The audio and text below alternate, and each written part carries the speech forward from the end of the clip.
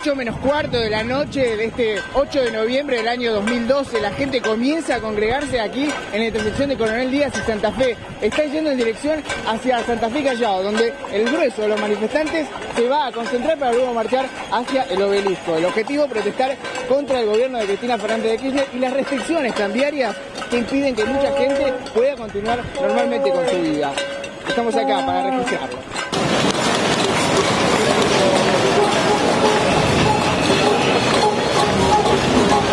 Ocho y media y la gente ya está caminando hacia la avenida 9 eh, de julio, donde planean obviamente concentrarse en el obelisco. Un montón de gente que está yendo con motivo de esta nueva consigna de juntar un millón de personas en el obelisco. Obviamente ya pasaron por la avenida Callao, muchísima gente, la avenida Santa Fe está repleta y como vemos, gente de todo tipo de clase, portando obviamente cacerolas, con mucho calor, eso es cierto. Y bueno, este es el objetivo del día de hoy, de este 8 de noviembre, donde la gente está marchando hacia el obelisco, como decíamos, para protestar por muchas de las medidas del gobierno de Cristina Fernández de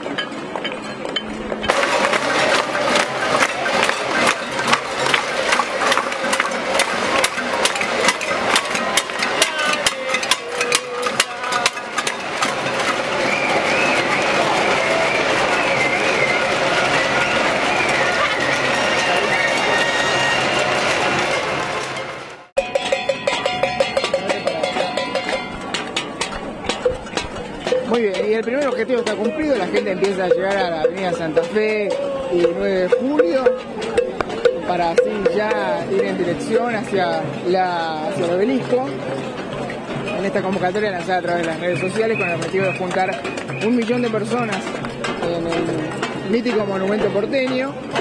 Muchísimas la convocatoria, la gente que sigue llegando. Con ese objetivo siguen marchando fila de personas que todavía siguen llegando. Y ya por esto entonces se podría decir que uno de los objetivos, que es la convocatoria masiva, se está cumpliendo. La gente sigue llegando. Y ahora sí emprende por la avenida 9 de julio el camino hacia el obelisco porteño. ¿Por qué está acá hoy, el 8 de noviembre? Mira, me parece que esta es una convocatoria muy importante porque es la ciudadanía que se manifiesta, que tiene una oportunidad de ocupar el espacio público. Por otra parte, hay un montón de cuestiones pendientes, como por ejemplo no a la reforma constitucional, no a la reelección. La presidenta tiene que escuchar la voz del pueblo o cierto sector del pueblo, no puede hacer oídos sordos. Así que le pedimos a la oposición que se ponga la cabeza a los dirigentes y acompañe este proceso de transformación. Así en el 2013 tenemos la garantía de que no hay una reelección ni una reforma constitucional. Gracias.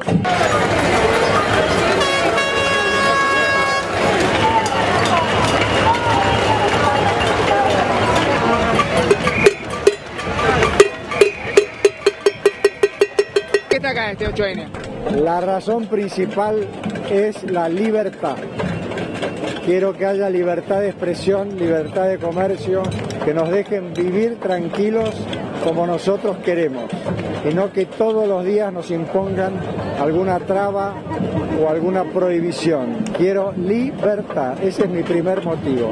Después hay muchos más, pero la primera es la libertad. ¿Cree que hay mucho autoritarismo, eh, carece de libertad? Absolutamente, autoritarismo, hay de todo lo que todo hay muchas cosas que no me gustan. La corrupción la inflación la mentira permanente. Pero el objeto de que mío de estar acá es pedir la libertad. Que nos que nos dejen vivir en libertad. Cuál es el principal problema que está sufriendo hoy la Argentina el principal problema es el populismo del gobierno la intención del gobierno de, de quedarse permanentemente y sobre todo la división de los argentinos.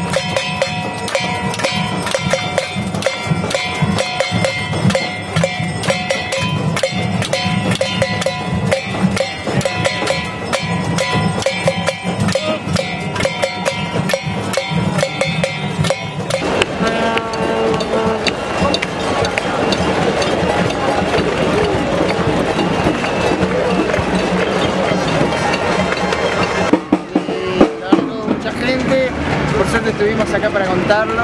Los medios libres son de la gente. En ese caso estamos nosotros. Todavía hay para contar. Y además se viene el 7D o el 6D, donde la gente ya tiene pensado volver.